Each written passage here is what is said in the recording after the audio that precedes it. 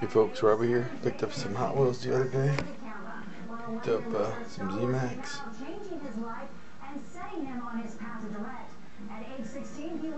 And found some other cars I was looking for. And picked up a few trucks. I just kind of wanted to show you what I picked up.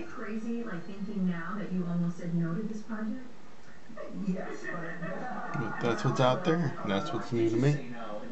So thanks for checking out.